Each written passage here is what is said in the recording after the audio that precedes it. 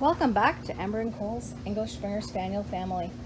Today we're going to look at Cole's sore foot. He has a sore foot here. He's been licking it a lot. We were wondering what's wrong with it and I think there's a boil.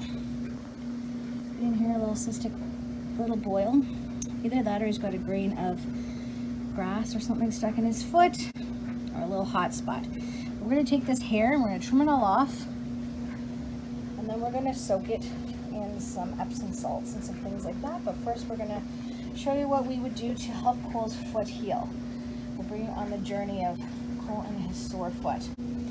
His half of his feet done. We're in the middle of his haircut. He hadn't gotten to the other side yet, and we noticed his sore foot. We're going to continue with it, on with that. Right, Cole? Is it bothering you?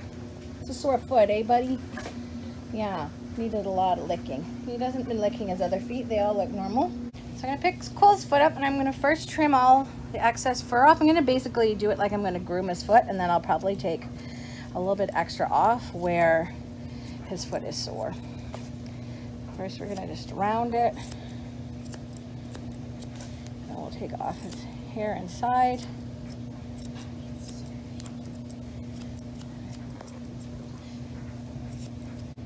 Here in Ottawa, Canada, it's gotten really hot these last few days and Cole's been waiting for his his haircut. So it could be just a hot spot from the, the heat, but we're gonna take all the bothersome hair out, pull his feet down, and then we'll address medicating it up a little bit. So we're gonna look at the front here. So if your, your dog has never had this before, I would suggest going to the vet and getting their, um, getting them just to weigh in and see how it is. I may take Cole to the vet. We'll see if it doesn't go away in a day or two and looks worse or anything like that. I will definitely take him to the vet. But Cole has had these before quite a few times, so this is not his first time getting these little teeny boil type things, cysts in his feet. And they usually heal after some Epsom salts and me cleaning the hair up. So I'm on my downward angle. I'm going to take all the excess out like a normal foot haircut and then I'm going to go back in after and I'm going to take even a bit more out so that it can heal properly. I think it's this toe over here on the inside left is the one that's sore. Okay, so I'm just trying to take out what's wet and red on his foot where it's been bleeding. So his foot's not gonna look as good as it always looks after a haircut. As you can see, see it's all in here. It's right here I think is where his little sore is. take some of the extra. Just kind of open it up.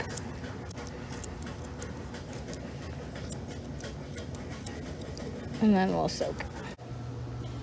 Okay, so Cole's foot is all done here. It's all nicely exposed where his sore is. It looks like it's on the top of his foot. Not really in between, it's at the top. So we're gonna use some good old Epsom salts and some warm water here. And we're going to put Epsom salts in the warm water and then let it sit for a little bit. And then we're going to soak his foot with a good hefty helping of Epsom salts.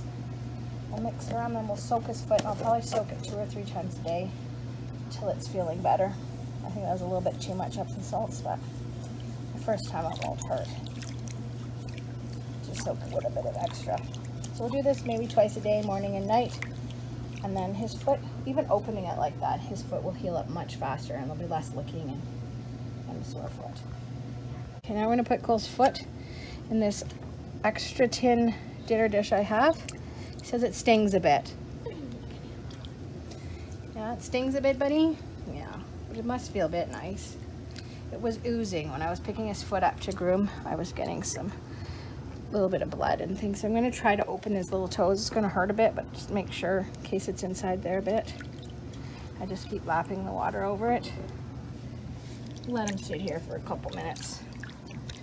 Then I'll pat him down with a towel and he'll be done. Okay, Cole says he's done. He's been squeaking here saying he doesn't want to soak any longer. Are you done now? Yes? You're done. Okay, so we'll do it again tonight before bed. I'm just going to take it out, put it on his towel here, and I'll dump that down the sink.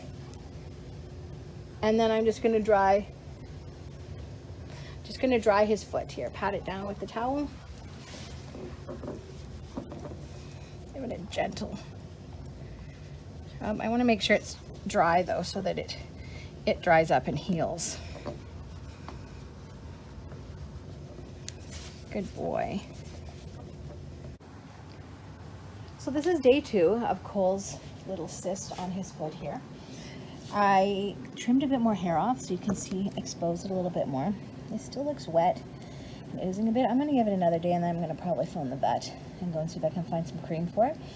But we've been using our Epsom salts bath twice a day and I'm going to, I was doing some research and it said maybe do a light peroxide bath, so water with a bit of peroxide in it. We're to get that little try this afternoon. We'll let you know how it looks tomorrow. Hopefully we're seeing some improvement. So here's an update on Cole's foot. We're still looking after it. We did call the vet and they're going to give us some antibiotic for it because it is not getting better quickly. It's kind of spread and looks a little bit worse, sadly. Hey, Cole? Cole can't stop licking it, so we gotta get something to start making it feel better. Cole, no more licking. I'm gonna put a cone on you soon, eh, buddy? So this is our last update on Cole's foot. You can see it back here. It's doing much better. Still has some scabs and looks sore, but it's not swollen anymore. It's not oozing. It's all scabbed up. He's been on antibiotic for a week. He has a three-week course of antibiotics, so we're not even halfway yet, but it is looking a lot better. He had some little spots on his lips too, and as you can see, they're all gone. Nothing on his lips anymore. So I think my soaking of his foot definitely helped. But in this case, it definitely was a trip to the vet. So you could always try it home yourself for a day or two. Things aren't looking better or progressing the way you wanted to, then of course call to the vet. Right now, with COVID in Canada, things are just starting to open up a little bit. But the vets aren't, they're overbooked and they're not taking new patients and they won't even let us in with the dogs. But this case, I sent a whole bunch of pictures and his symptoms and all stuff, a big long email to our vet. And it took them a couple days, sadly. I think it took us three or four days to get the medication. But at least he got it and now he's healing and feeling better. Right, Ember? You can play with Coley again? Yeah. Thank you for watching Ember and Cole's English Springer Spaniel family. We'll be back with some more grooming and fun with the pups and any other updates. But Cole is on the mend now and hopefully his foot will go back to having hair on it in another couple of weeks. Thanks for watching. Take care. Bye.